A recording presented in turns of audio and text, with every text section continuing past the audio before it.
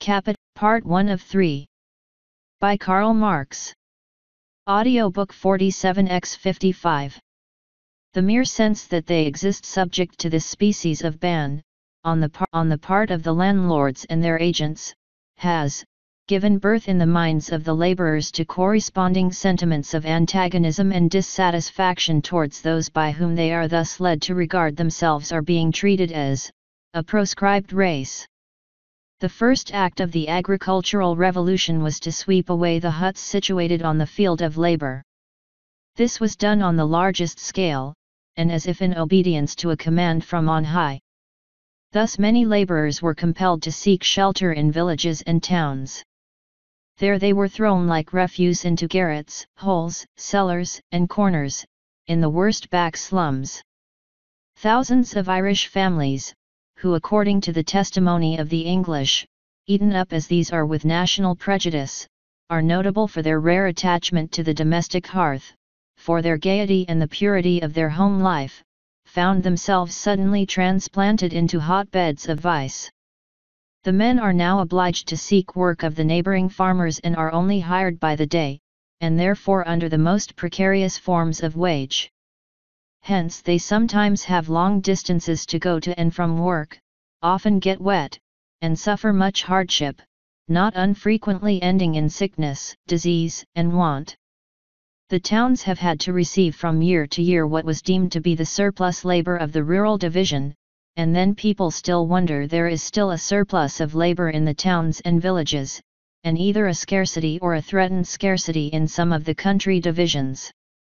The truth is that this want only becomes perceptible in harvest time, or during spring, or at such times as agricultural operations are carried on with activity, at other periods of the year many hands are idle, that from the digging out of the main crop of potatoes in October until the early spring following, there is no employment for them, and further, that during the active times they are subject to broken days and to all kinds of interruptions.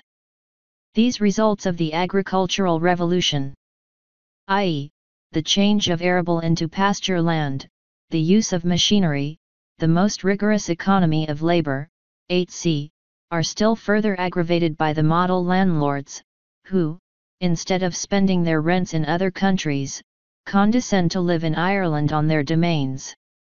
In order that the law of supply and demand may not be broken, these gentlemen draw their labour supply, chiefly from their small tenants, who are obliged to attend when required to do the landlord's work, at rates of wages, in many instances, considerably under the current rates paid to ordinary labourers, and without regard to the inconvenience or loss to the tenant of being obliged to neglect his own business at critical periods of sowing or reaping.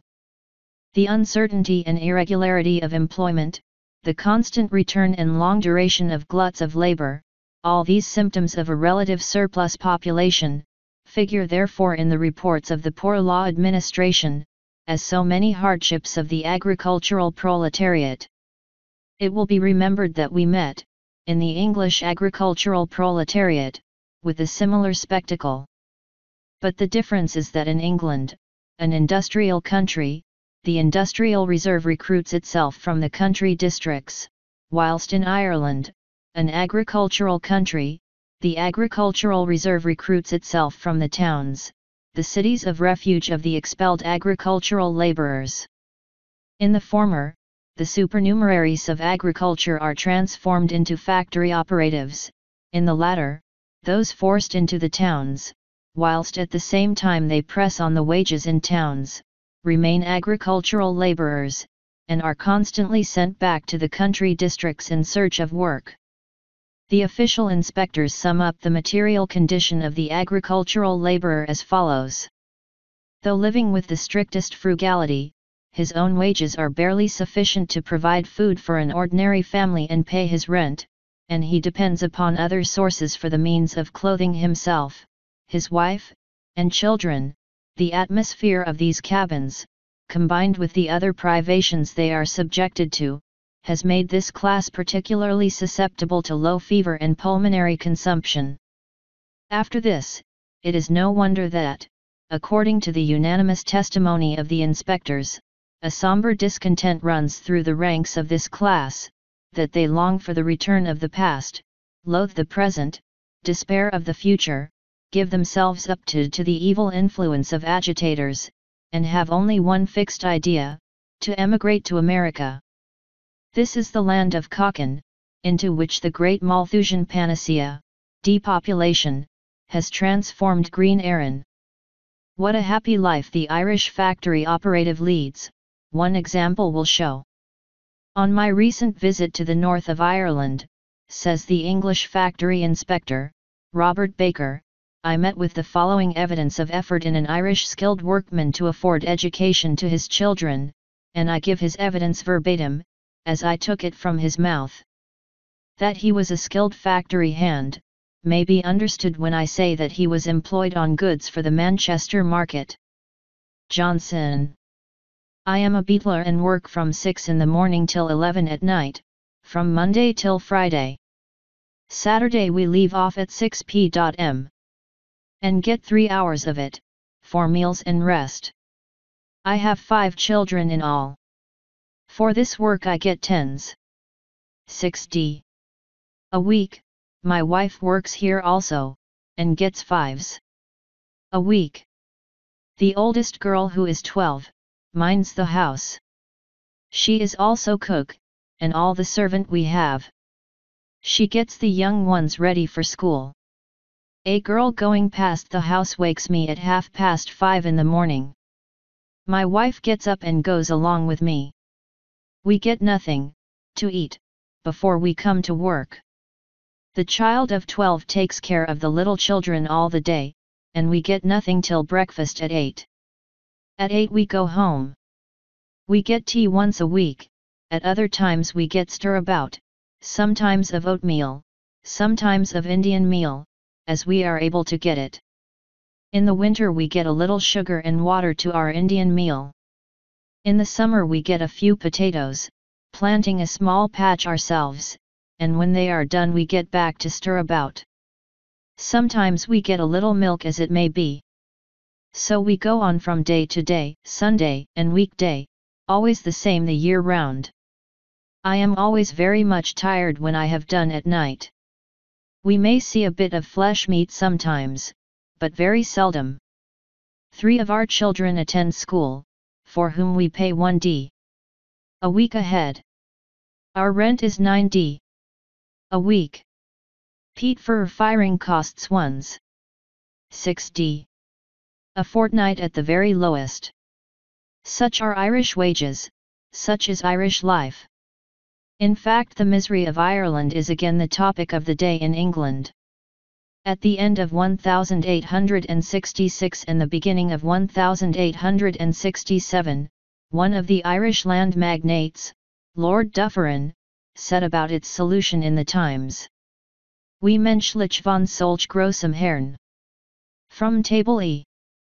We saw that, during 1864, of 4,368,610 pounds of total profits, three surplus value makers pocketed only 262,610 pounds, that in 1865, however, out of 4,669,979 pounds total profits, the same three virtuosi of abstinence pocketed 274,448 pounds, in 1864, 26 surplus value makers reached to 646,377 pounds, in 1865, 28 surplus value makers reached to 736,448 pounds, in 1864, 121 surplus value makers,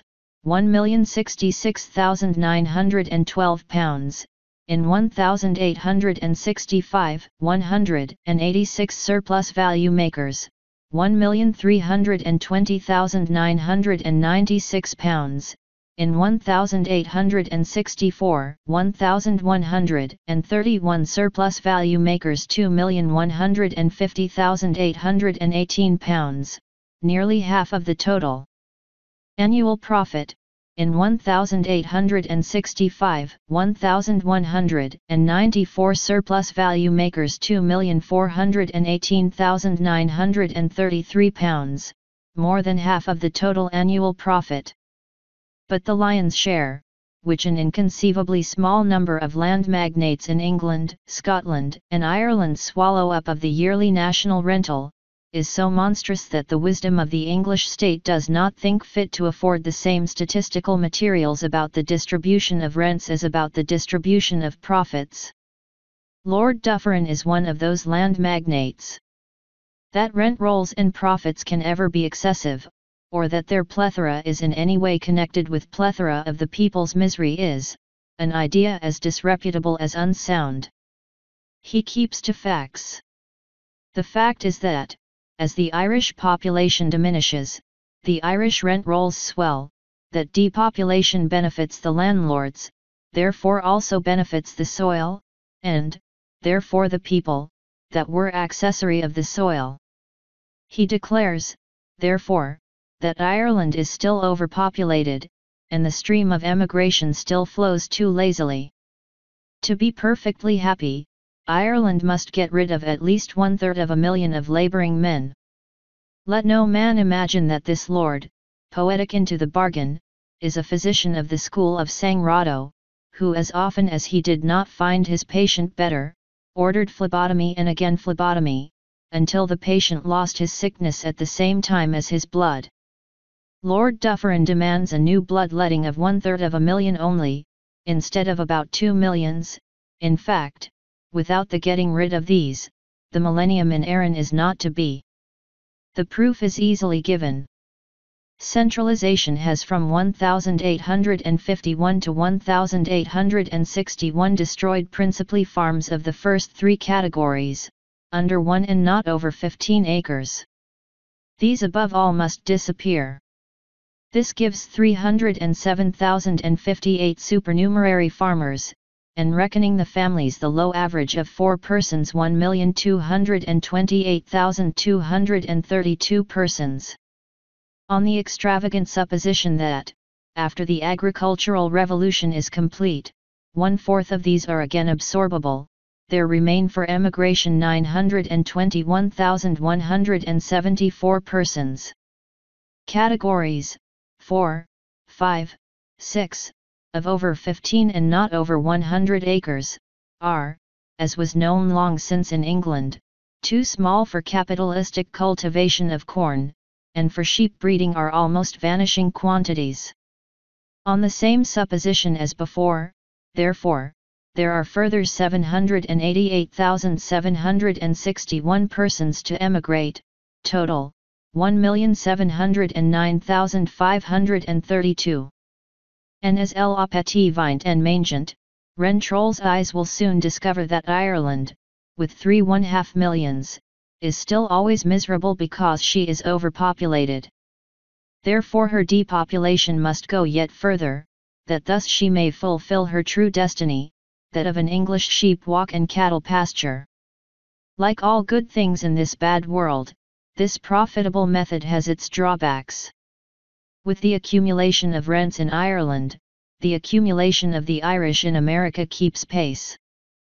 The Irishman, banished by sheep and ox, reappears on the other side of the ocean as a Fenian, and face to face with the old queen of the sea rises, threatening, and more threatening, the young giant republic. Acerba fata Romanos agunsalusk fraterni nisus. Part 8 The so-called primitive accumulation Chapter XXVI The Secret of Primitive Accumulation We have seen how money is changed into capital, how through capital surplus value is made, and from surplus value more capital. But the accumulation of capital presupposes surplus value, surplus value presupposes capitalistic production, Capitalistic production presupposes the pre-existence of considerable masses of capital and of labor power in the hands of producers of commodities. The whole movement, therefore, seems to turn in a vicious circle, out of which we can only get by supposing a primitive accumulation, previous accumulation of Adam Smith, preceding capitalistic accumulation, an accumulation not the result of the capitalist mode of production, but its starting point. This primitive accumulation plays in political economy about the same part as original sin in theology. Adam bit the apple, and thereupon sin fell on the human race. Its origin is supposed to be explained when it is told as an anecdote of the past. In times long gone by there were two sorts of people, one, the diligent, intelligent, and, above all, frugal elite, the other, lazy rascals, spending their substance, and more, in riotous living.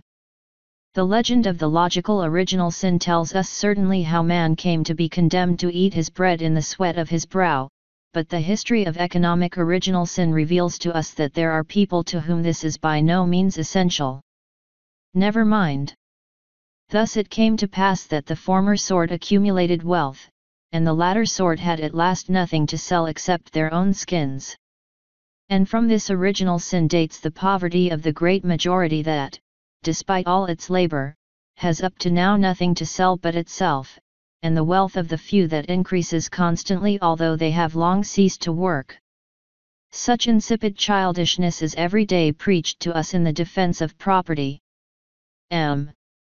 Thiers, e.g., had the assurance to repeat it with all the solemnity of a statesman, to the French people, once so spirituel.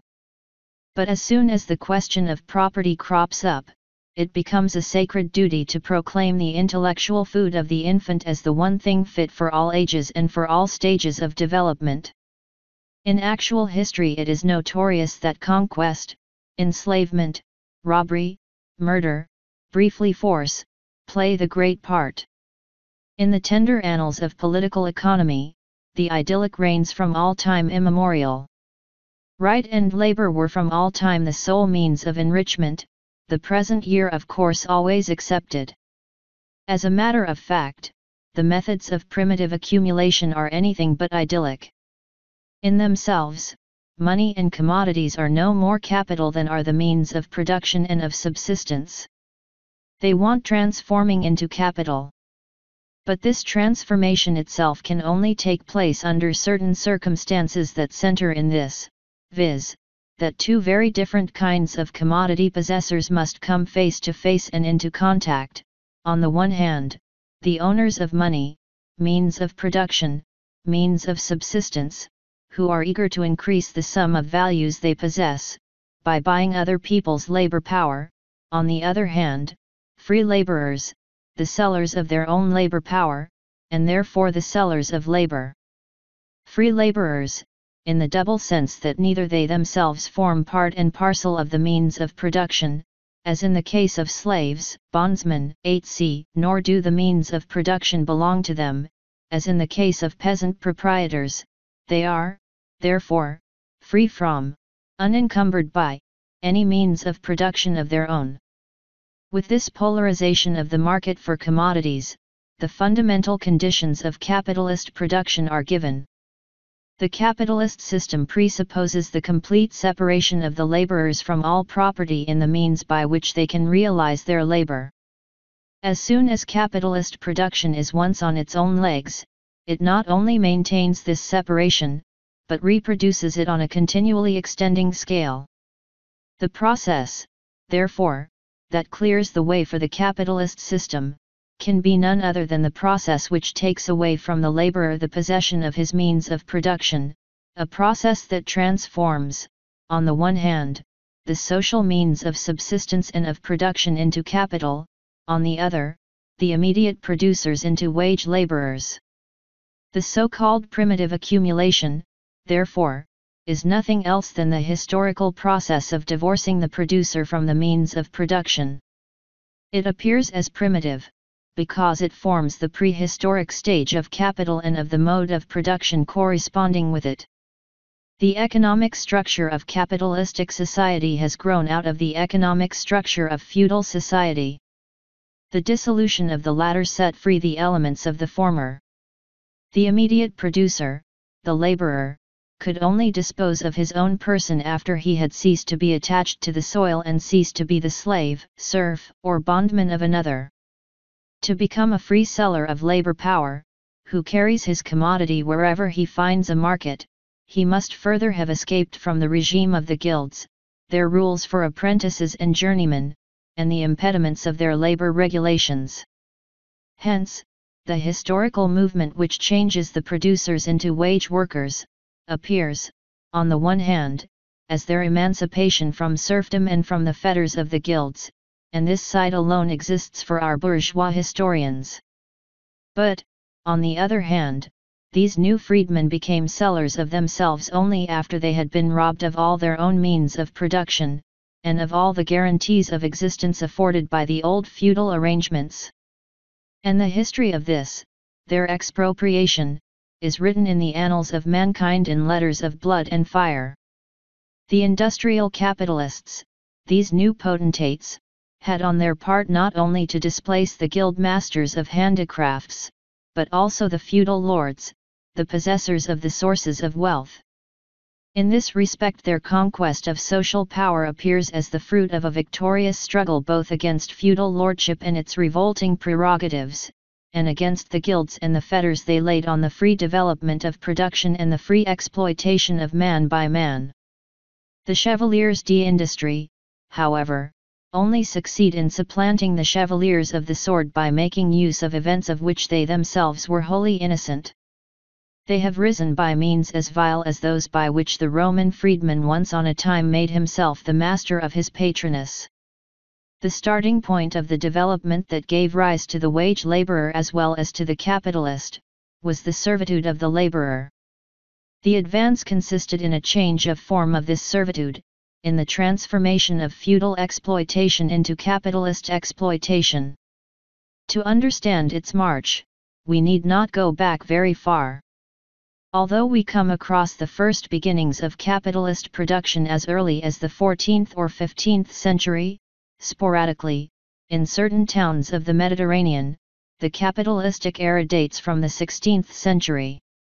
Wherever it appears, the abolition of serfdom has been long effected, and the highest development of the Middle Ages, the existence of sovereign towns, has been long on the wane.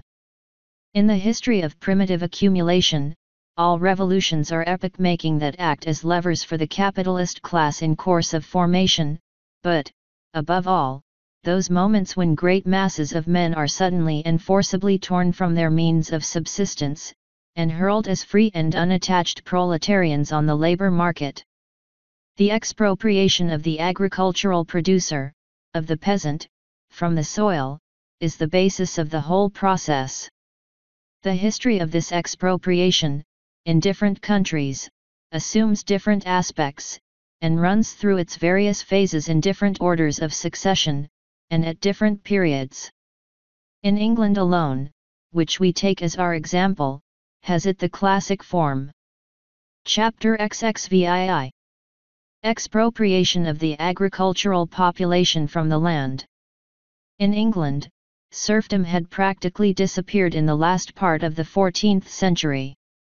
The immense majority of the population consisted then, and to a still larger extent, in the 15th century, of free peasant proprietors, whatever was the feudal title under which their right of property was hidden.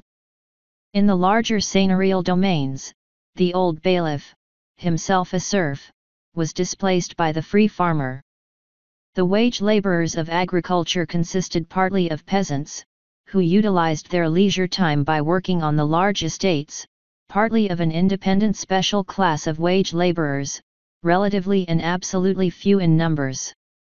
The latter also were practically at the same time peasant farmers, since, besides their wages, they had allotted to them arable land to the extent of four or more acres, together with their cottages.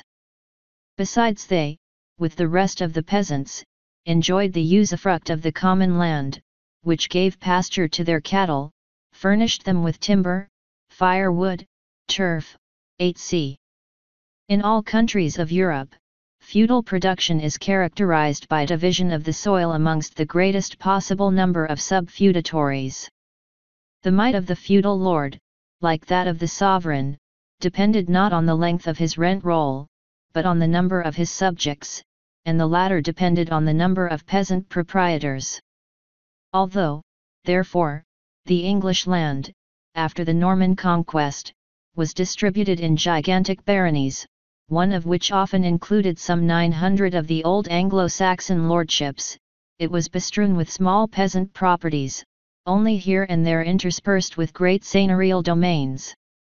Such conditions, together with the prosperity of the towns so characteristic of the 15th century, allowed of that wealth of the people which Chancellor Fortescue so eloquently paints in his Laudes Legum Angliae, but it excluded the possibility of capitalistic wealth. The prelude of the revolution that laid the foundation of the capitalist mode of production, was played in the last third of the 15th, and the first decade of the 16th century.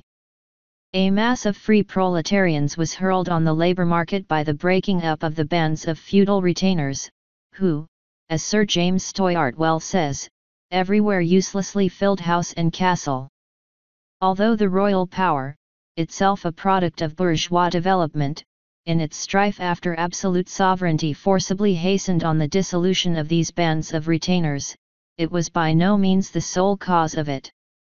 In insolent conflict with king and parliament, the great feudal lords created an incomparably larger proletariat by the forcible driving of the peasantry from the land, to which the latter had the same feudal right as the lord himself, and by the usurpation of the common lands.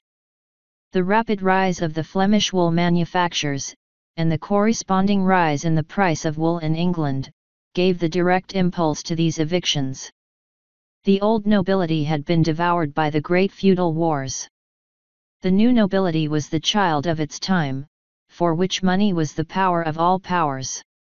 Transformation of arable land into sheep walks was, therefore, its cry. Harrison, in his description of England, prefixed to Holinshed's Chronicle, describes how the expropriation of small peasants is ruining the country. What care our great encroachers? The dwellings of the peasants and the cottages of the labourers were razed to the ground or doomed to decay. If, says Harrison, the old records of Uri manure be sought, it will soon appear that in some manure 17, 18, or 20 houses are shrunk, that England was no or less furnished with people than at the present, of cities and towns either utterly decayed or more than a quarter or half diminished, though some one be a little increased here or there, of towns pulled down for sheep walks, and no more but the lordships now standing in them, I could sigh somewhat. The complaints of these old chroniclers are always exaggerated, but they reflect faithfully the impression made on contemporaries by the revolution in the conditions of production. A comparison of the writings of Chancellor Fortescue and Thomas More reveals the gulf between the 15th and 16th century. As Thornton rightly has it, the English working class was precipitated without any transition from its golden into its iron age. Legislation was terrified at this revolution. It did not yet stand on that height of civilization where the wealth of the nation, i.e., the formation of capital, and the reckless exploitation and impoverishing of the mass of the people, figure as the ultima thule of all statecraft. In his History of Henry VII, Bacon says, Enclosures at that time, 1489, began to be more frequent, whereby arable land, which could not be manured without people and families, was turned into pasture, which was easily rid by a few herdsmen, and tenancies for years, lives, and at will, whereupon much of the yeomanry lived, were turned into demesnes. This bred a decay of people, and, by consequence, a decay of towns, churches, tithes, and the like, in remedying of this inconvenience the king's wisdom was admirable, and the parliament at that time, they took a course to take away depopulating enclosures, and depopulating pasturage. An act of Henry VII, 1489, ca. forbade the destruction of all houses of husbandry to which at least 20 acres of land belonged. By an act, 25 Henry VIII, the same law was renewed. It recites, among other things, that many farms and large flocks of cattle, especially of sheep, are concentrated in the hands of a few men, whereby the rent of land has much risen and tillage has fallen off, churches and houses have been pulled down, and marvelous numbers of people have been deprived of the means wherewith to maintain themselves and their families. The Act, therefore, ordains the rebuilding of the decayed farmsteads, and fixes a proportion between corn land and pasture land, 8c. An Act of 1533 recites that some owners possess 24,000 sheep, and limits the number to be owned to 2,000. The cry of the people and the legislation directed, for 150 years after Henry VII, against the appropriation of the small farmers and peasants, were alike fruitless.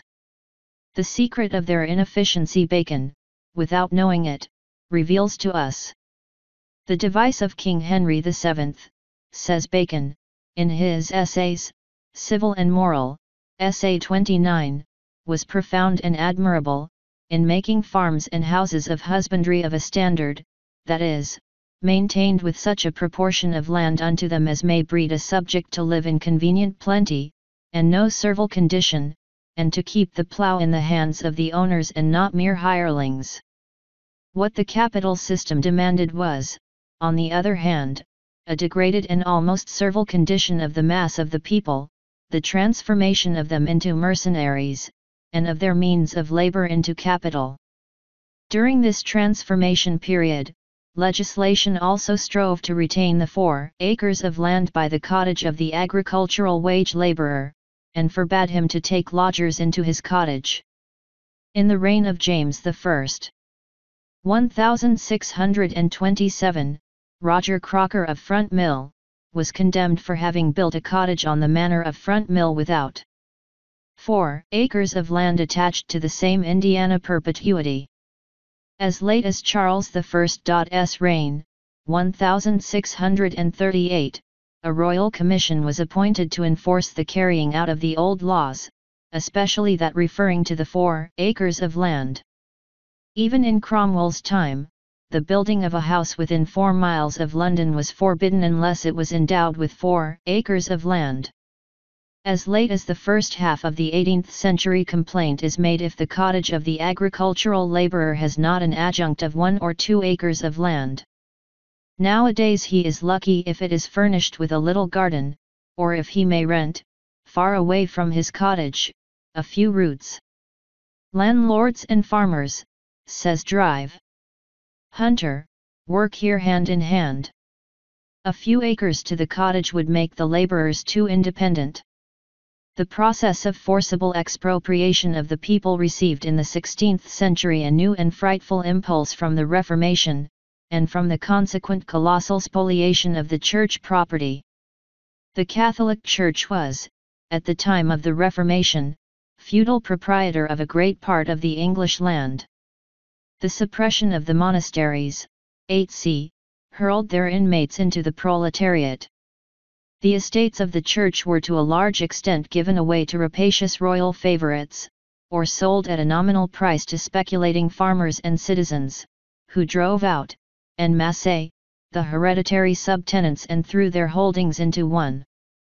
The legally guaranteed property of the poorer folk in a part of the church's tithes was tacitly confiscated. Pauper ubique jacet, cried Queen Elizabeth, after a journey through England. In the 43rd year of her reign the nation was obliged to recognize pauperism officially by the introduction of a poor rate. The authors of this law seem to have been ashamed to state the grounds of it, for contrary to traditional usage it has no preamble whatever. By the 16th of Charles I, ch.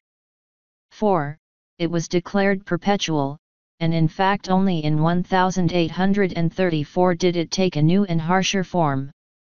These immediate results of the Reformation were not its most lasting ones. The property of the Church formed the religious bulwark of the traditional conditions of landed property. With its fall these were no longer tenable. Even in the last decade of the 17th century, the yeomanry, the class of independent peasants, were more numerous than the class of farmers. They had formed the backbone of Cromwell's strength, and, even according to the confession of Macaulay, stood in favorable contrast to the drunken squires and to their servants, the country clergy, who had to marry their masters' cast-off mistresses. About 1750, the yeomanry had disappeared, and so had, in the last decade of the 18th century, the last trace of the common land of the agricultural laborer. We leave on one side here the purely economic causes of the agricultural revolution. We deal only with the forcible means employed. After the restoration of the Stuarts, the landed proprietors carried, by legal means, an act of usurpation, effected everywhere on the continent without any legal formality. They abolished the feudal tenure of land, i.e., they got rid of all its obligations to the state, indemnified the state by taxes on the peasantry and the rest of the mass of the people, vindicated for themselves the rights of modern private property in estates to which they had only a feudal title, and, finally, passed those laws of settlement, which, mutatis mutandis, had the same effect on the English agricultural labourer, as the edict of the Tartar Boris Godunov on the Russian peasantry. The Glorious Revolution brought into power, along with William of Orange, the landlord and capitalist appropriators of surplus value. They inaugurated the new era by practicing on a colossal scale thefts of state lands, thefts that had been hitherto managed more modestly. These estates were given away, sold at a ridiculous figure, or even annexed to private estates by direct seizure. All this happened without the slightest observation of legal etiquette. The crown lands thus fraudulently appropriated, together with the robbery of the church estates, as far as these had not been lost again during the Republican Revolution, form the basis of the today princely domains of the English oligarchy. The bourgeois capitalists favored the operation with the view, among others, to promoting free trade in land, to extending the domain of modern agriculture on the large farm system, and to increasing their supply of the free agricultural proletarians ready to hand. Audiobook generated by Read with the Ears